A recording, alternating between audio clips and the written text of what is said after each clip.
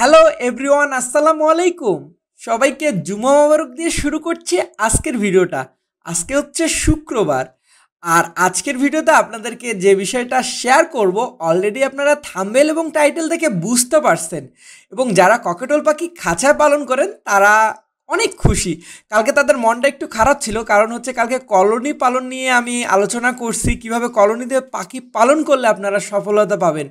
কারণ আমি যতটুকু জানি, প্রায় এইট্টি পারসেন্ট বা নাইনটি পারসেন্ট যারা পাখি পালন করেন, তারা খাঁচাই পালন করেন। আর দশ পার্সেন্ট যারা আছেন, যারা কলোনি লাভার বা কলোনিতে মনে হয়, তারা কলোনিতে পাখি পালন করেন। কিন্তু কালকের ভিডিওতে আমি যেটা বলছি কলোনিতে কীভাবে আপনারা সফলতা পারবেন, ওইভাবে যদি শুরু করতে পারেন, ইনশাআল্লাহ আমার বিশ্বাস যে খাঁচার পরে এখন কলোনিতেও পাখি পালনের সংখ্যা বেড়ে যাবে।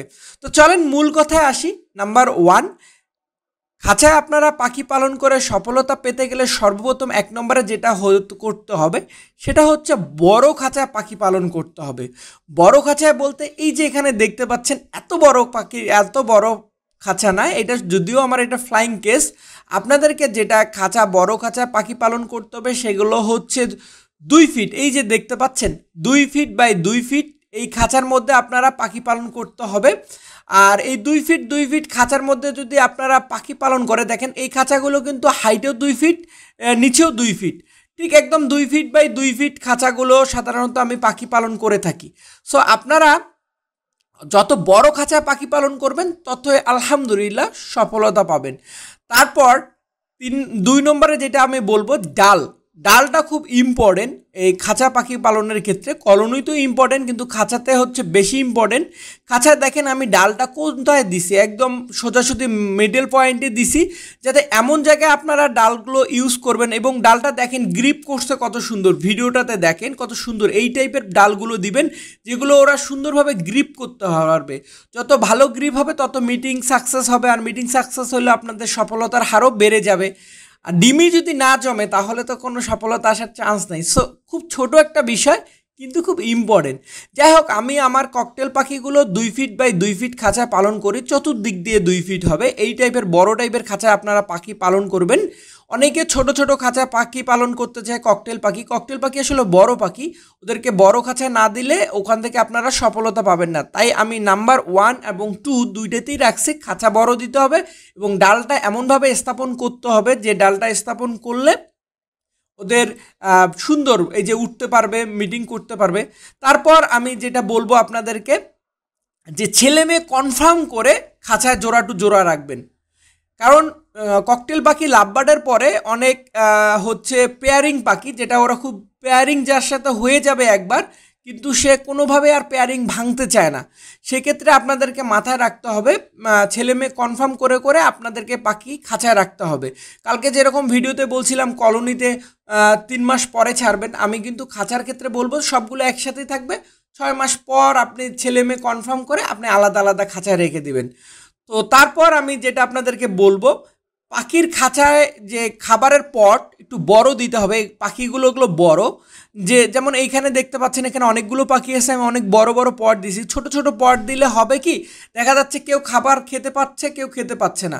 সেক্ষেত্রে যদি আপনারা এইভাবে খাঁচায়, বড় খাঁচায় রাখেন, এরকম অনেকগুলো পাখি বড় পট দিবেন, বা যদি আলাদা আলাদা ছোট ছোট খাঁচায়ও রাখেন, তারপরেও এত বড় না, একটা মিডিয়াম সাইজের পটগুলো দিবেন, যেগুলোতে খেতে ওদের কমফোর্টেবল ফিল হয়।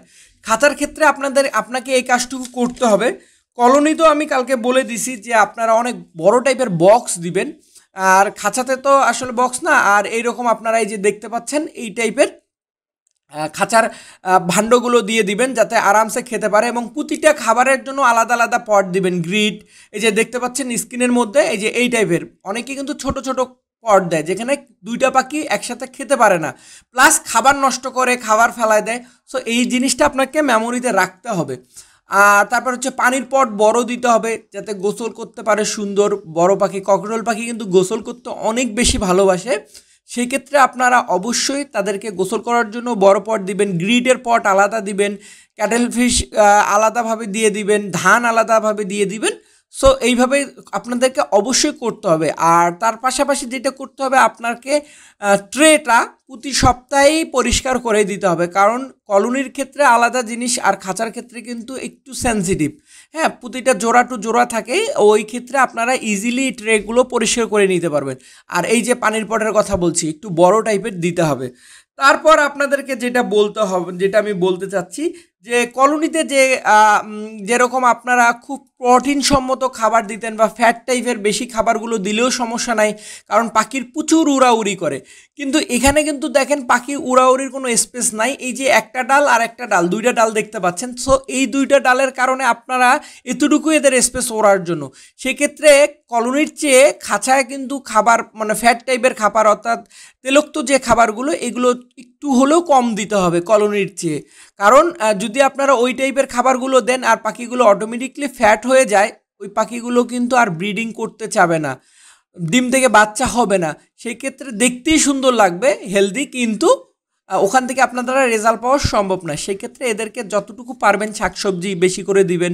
সব খাবারে ঠিক আছে, শুধু সিড মিক্সের ক্ষেত্রে আপনারা যতটুকু পারবেন একটু কম দিতে, ধানের, ধান দিয়ে রাখবেন বেশি করে, যাতে পাখিটার শরীরে ফ্যাট তৈরি না হয়। আর অবশ্যই বললাম, আবারও বলছি, বড় খাঁচায় করতে হবে। এটার কোনো বিকল্প নাই। বড় খাঁচায় যদি আপনারা ব্রিডিং না করান, পাখি কিন্তু অটোমেটিকলি যে এরকম স্বাস্থ্যবান খাবার দিবেন প্রোটিন সম্মত খাবার দিবেন পাখি অটোমেটিকলি কিন্তু মোটা তাজা হয়ে যাবে, কিন্তু ওখান থেকে রেজাল্ট পাওয়া সম্ভব না। তো এইভাবে আপনারা আপনাদের পাখিগুলোকে অবশ্যই করবেন। তারপর আমি যেটা মনে করি যে খুব ইম্পর্টেন্ট একটা ব্যাপার, যে বারো মাস বয়স না হওয়া পর্যন্ত আপনারা পাখিকে ব্রিডিংয়ে দিবেন না। সেটা খাঁচায় হোক আর কলোনিতে হোক। উভয় যেখানেই হোক, আমি যেটা আমার মনে হয় বারো মাসের আগে ডিম বাচ্চা করানো উচিত না। কিন্তু ন্যাচারালভাবে এইগুলো লোকাল ব্রিড হয় বা ছোটোবেলা থেকে সুন্দর একটা কাউন্সিলিং হয় আমার পাখিগুলো, যারা নিয়ে যায় অনেকেই দেখছি চার মাস, পাঁচ মাসে বক্স লাগাই দিছে, ডিম ডিম করতে শুরু করছে। বাচ্চা করছে কিনা আমি কারও কাছে শুনিনি। সবাই শুধু বলে, ভাই, আমার পাখিগুলো ডিম পারছে তো তাদের কাছে আমার রিকোয়েস্ট যারা আমার পাখিগুলো নিয়ে গেছেন বা যারা পাখি পালন করেন, এরকম লোকাল বাচ্চাগুলো কিন্তু চার পাঁচ মাসেই কিন্তু ডিম পারতে শুরু করে। এটা শুনতে অবাক লাগলেও কিন্তু, আপনাদেরকে একটু ধৈর্য ধরে আপনাদেরকে এক বছর পরে এদেরকে ব্রিডিং করাতে হবে। তারপর আমি যেটা আপনারা দেখতে পাচ্ছেন, আমার কিন্তু ব্রিডিং বক্সগুলো ঠিক খাঁচার বাইরে। হুম ব্রিডিং বক্সগুলো প্রতিটা দেখেন খাঁচার বাইরে। আমার কিন্তু খাঁচাগুলো অনেক বড় হওয়ার পরও ব্রিডিং বক্সগুলো বাইরে দিয়ে দিছি, ট্রে ইউজ করছি, দেখেন। ঠিক এইভাবে আপনারা আপনাদের পাখিগুলোরও ব্রিডিং বক্স খাঁচার বাইরে দিবেন, তাহলে খাঁচা পুরো স্পেস পেয়ে যাচ্ছে পাখিটা। অনেকে খাঁচা নষ্ট করার ভয়ে করে কি বক্স ভিতরে দেয় এবং বক্সের সাইজগুলো এই টাইপের হবে যে দশ ফিট বারো সরি, দশ ইঞ্চি বাই বারো ইঞ্চি বা দশ ইঞ্চি দশ ইঞ্চি চতুর্দিক দিয়ে দশ ইঞ্চি দশ ইঞ্চি হবে। এই টাইপের আপনারা বক্সগুলো দিবেন এবং খাঁচার বাইরে দিবেন। না হলে কিন্তু এই যে দেখেন, আমি কত ইজিলি বাচ্চাগুলোকে চেক করতে পারতেছি, বাচ্চাগুলো বের করে খাওয়াতে পারতেছি, সব ইজি হচ্ছে। কিন্তু ভিতরে হলে কিন্তু আপনার চেক করার সমস্যা প্লাস আপনার পাখিরও সমস্যা। তো আমার বিশ্বাস আপনাদেরকে যেগুলো বললাম, এইভাবে যদি আপনারা ককটল পাখি খাঁচা পালন করতে পারেন, আলহামদুলিল্লাহ আমার বিশ্বাস আপনারা এখান থেকে সফলতা পাওয়া সম্ভব। প্রায় এইট্টি পার্সেন্ট বা নাইনটি পার্সেন্ট আর তার পাশাপাশি কিন্তু অবশ্যই আপনাদের গাইডলাইন মেনে চালতে হবে। আর আমি কিন্তু ককটেল পাখি নিয়ে যে ভিডিওগুলো দিই, খাঁচা এবং কলোনি দুই ভিডিওগুলো আপনারা দেখবেন, অনেক কিছু জানতে পারবেন। জানি না আপনাদের ভিডিওটা কেমন লাগল। যদি ভিডিওটা আসলেই ভালো লেগে থাকে, অবশ্যই ভিডিওটাতে লাইক কমেন্ট করবেন, পাশাপাশি শেয়ার করে দিবেন, যাতে অন্য কোনো পাখি পাখা প্রেমিক এই ভিডিওটা দেখে তাদের উপকারে লাগে। সো এতক্ষণ আমার সঙ্গে থাকার জন্য অসংখ্য ধন্যবাদ। সবাই ভালো থাকবেন, সবার ভালোবাসার পাখিগুলো ভালো থাক। আজকের মতন বিদায় নিচ্ছি। আল্লাহ হাফেজ। আসসালামু আলাইকুম।